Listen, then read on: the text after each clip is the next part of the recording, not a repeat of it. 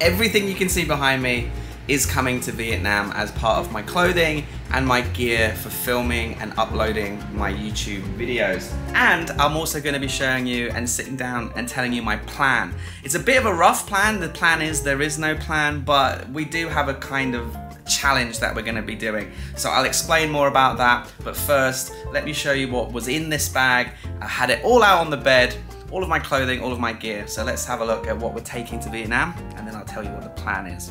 Let's go.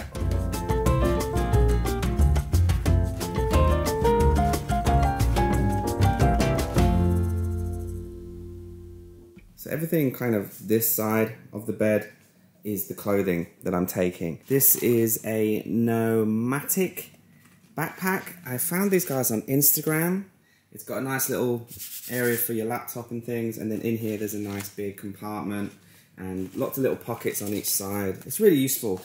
I love this bag, and uh, so she'll be coming with me with all of these clothes. So let's start at the back.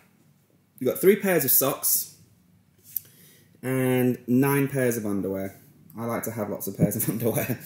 And then uh, trousers. I've got waterproof North Face trousers that are really good. There's um there's a zip as well down the bottom, so they're really easy just to quickly put on over my jeans.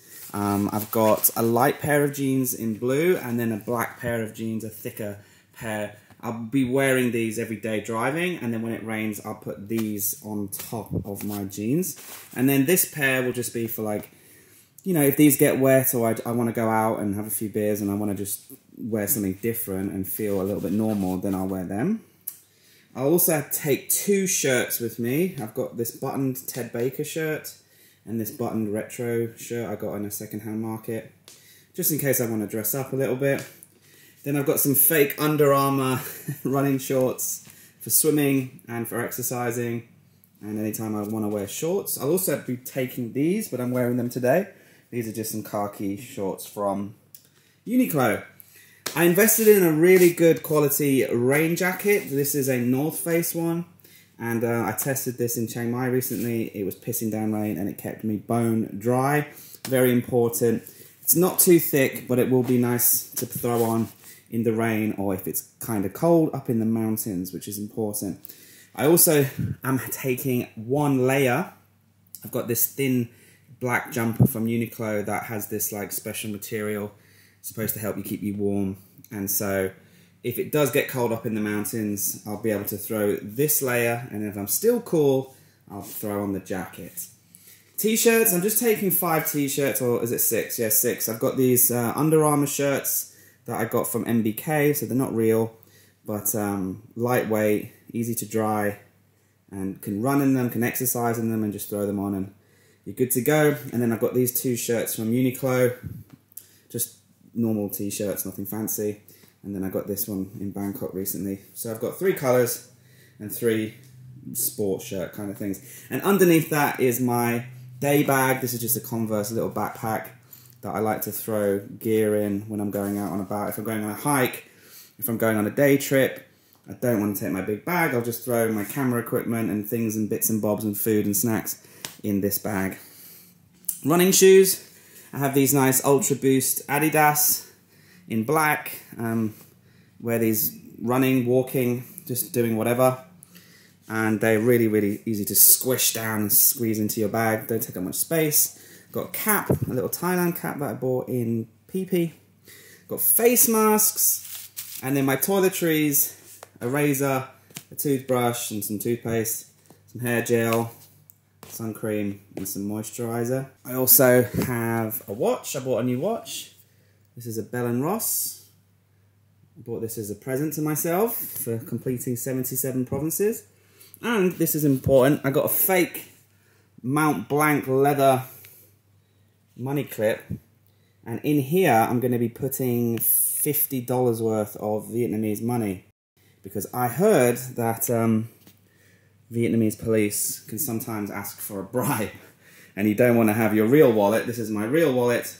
So I'm going to have a secondary wallet with $50 worth of cash in maybe my North Face jacket. So if I do get pulled over by police, I do have a Thai driving license which is valid in Vietnam, but if they catch me for something else or they say that it doesn't work or it's not allowed, and they are adamant, then I'll have a small amount of cash in that staged wallet, secondary wallet, which is uh, advisable uh, to have in Vietnam, sadly. So that's all my gear. Oh, there's one more, and that is what I'll be wearing when I'm flying and when I'm driving. Um, so these won't have to fit in my backpack. I'll be wearing these. This is North Face black boots. I wear these um, pretty much every day when I'm driving, um, and I only wear them the Adidas Boost um, when I'm doing exercise and things like that. So that's all of the gear, all my clothing, and it really fits in that bag. Really super simple. Like, and I have quite a bit of space. Like, if you don't believe me, look, check this out. There you go. Everything is now in there, and there's plenty of room left over, all around the edges and on the top. I'll squeeze my laptop in there, and then I'll just close that. She's good to go. right, so that's half of the stuff. That's the clothing. Now let me show you the gear, the equipment that I need to film and edit these videos for you. Okay, so we have a MacBook Pro M1 chip. This is what I upgraded to when I was in uh, Vietnam. No, I wasn't. Where was I? Samui. And uh, I was watching some Gary Butler, watching some Vietnamese travel vlogs. Um, and a charger, obviously. There we go. Bosch. So MacBook and a charger. This is my GoPro chest mount, which I use to film all of my you know motorcycle shots from the chest view. Um, I do have a little sponge that I super glued to this because uh, it just helps with uh, having a better angle. And then this is my lavalier mic, which plugs into um, my media mod, which is over here. Um, so this is my SSD hard drive. I just bought another one because this has all of my Thailand footage, all of my renders, all of my final videos here, and I like to keep that with me. So I just bought um, another $200 one terabyte, and this will have all of the Vietnam footage on here. They're so small, they're so light, very reliable, fantastic piece of equipment. And yeah, the lavalier mic system will plug into the media mod. Over here, as you can see, there's the jack for the uh, lavalier mic, and then that goes onto the chest mount like this. And obviously, inside there, I have the GoPro 10, which I shoot. And the good thing about the GoPro 10 is inside the media mod and plugged into the uh, chest mount lavalier mic, it's fantastic audio, fantastic video. And if I want to vlog on this, I can, and I do that very often. The Media Mod GoPro is a good vlogging system. Three batteries for the GoPro 10. I also have a GoPro 7 because I'm going to be connecting. This is a handlebar mount system. And uh, I, I was going to get a GoPro 10, another GoPro 10, but I remembered um, that I had a GoPro 7 lying around. So on my handlebar, I'm hoping to have a GoPro 7 facing me and the GoPro 10 on my chest facing forward and I'll be able to cut between the two. Hopefully that will give the footage a bit more of a dynamic feel. I'll be able to show you what I'm looking at and then cut to me talking to you about what I'm seeing or what I'm feeling or whatever's happening around us. So that was uh, about a $30 um, yeah, accessory which I haven't installed yet. These two pieces together will be the home for the GoPro 7 and I've uh, got some spare batteries for the GoPro 7. This is my vlogging camera. This is the Sony ZV-1. This is actually a broken one that I have. I'm filming with the, the one that works. And a phone charger, GoPro charger, another GoPro charger.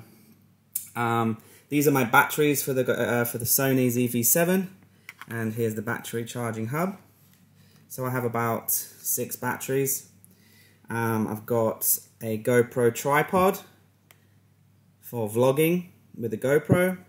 In here I just have some cables, some extra charging cables and just extra things that I need.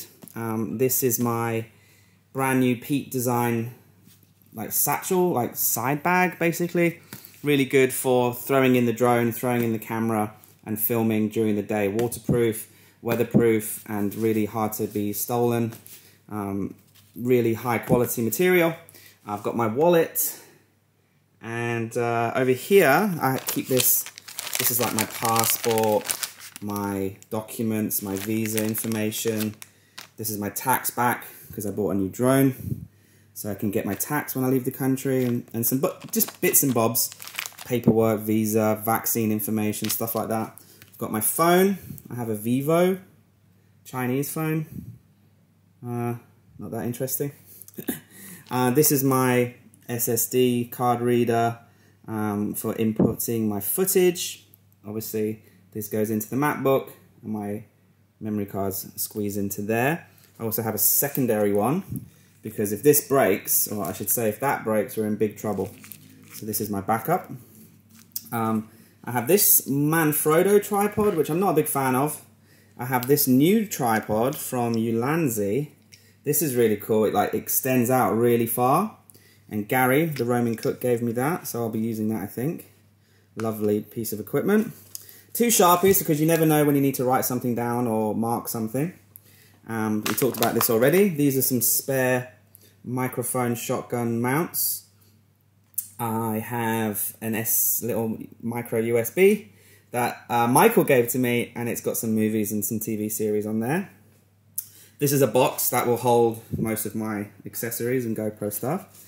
This box here, this soft GoPro bag, is actually home to my DJI Pocket 2 and its lavalier mic system, its charging cables, and some GoPro accessories and things like that. Um, that will probably get full with all this kind of stuff as well. And then here we have the DJI Mini 3, the brand new one, which we tested out recently.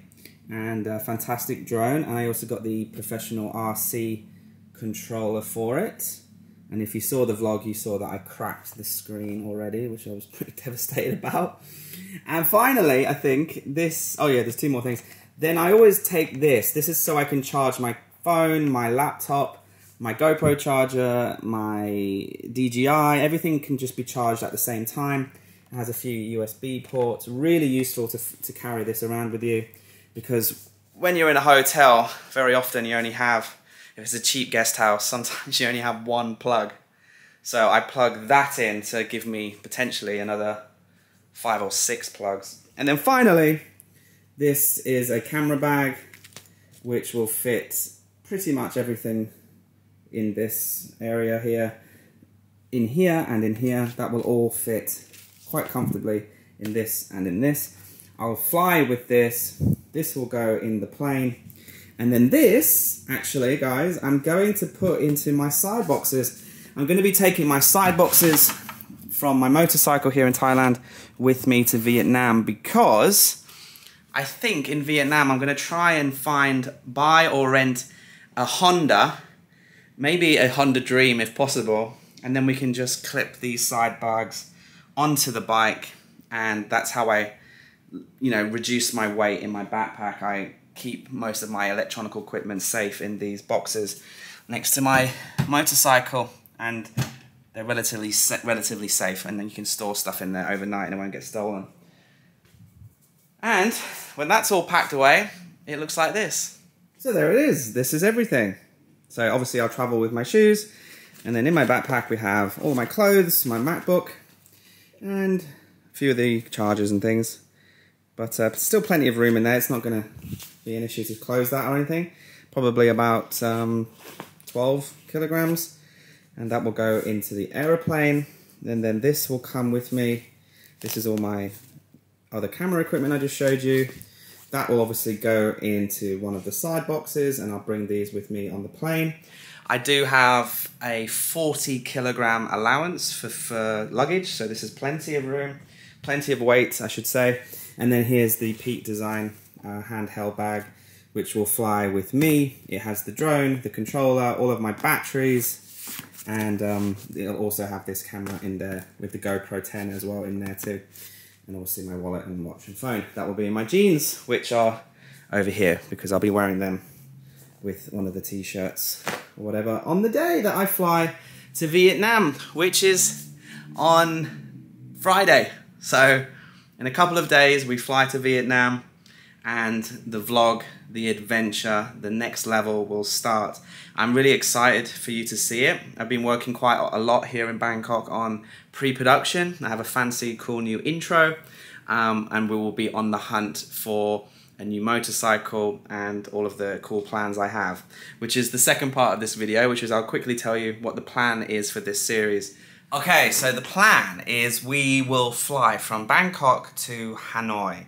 Now, a lot of people who travel Vietnam tend to start in the south and finish in the north, and I'm doing it the opposite way around. If you're wondering why, it's something to do with my motorcycle adventure series because what most people tend to do is go to Saigon and buy or rent a motorcycle and drive to the north. Now, not most people. Most people just travel on the buses, trains, and even flying around if they're in Vietnam for a few weeks. But we will be there for a few months and we're going to be doing it on a motorcycle. And most people who do it on a motorcycle buy it in the south and sell it in the north. So I'm thinking if we go to the north, we'll be A, be able to buy a motorcycle for cheaper because anyone who's trying to sell it after their trip will probably um, sell it for a cheaper price just to get rid of it. So it will probably be easier to buy one. And then when we finish and we're in the south in Ho Chi Minh, when we are looking to sell it, we'll have a lot of people wanting to buy it. So we shouldn't be able to worry about getting a good price. So I just think if we buy a motorcycle, it's better to be in the north, is what I'm thinking. Now, that doesn't mean we're going to buy one. We might rent one. I am going to, as part of the first episode, fly to Hanoi and find a bike. I'll check on Facebook Marketplace. I'll speak to locals. I'll speak to my hotel or hostel, wherever I end up staying and I might meet backpackers looking to sell their bikes. And if it looks good, I'll buy one.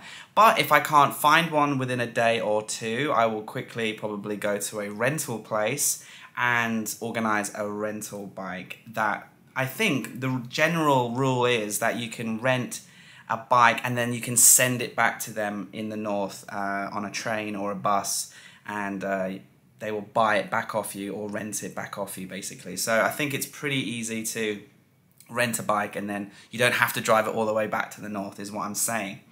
And uh, so that's why we're going to the north first. And what we'll do is once we get the motorcycle, we're actually going to drive 10 hours or so north to the most northern area of Vietnam, right on the border of China. I had a look on Google Maps and there's a tower there, I think, on the border of China.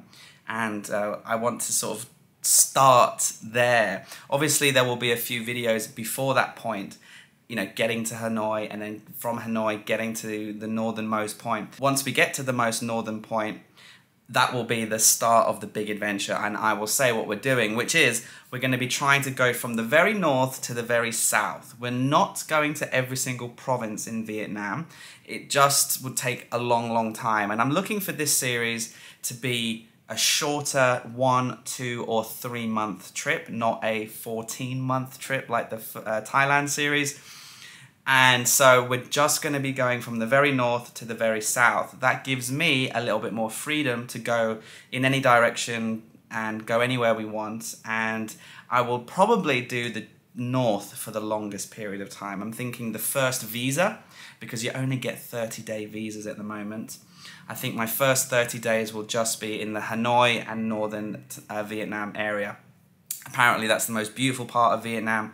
So let's spend a good chunk of our time there. Then I will do a visa run either to Laos or back to Thailand, and I'll come back.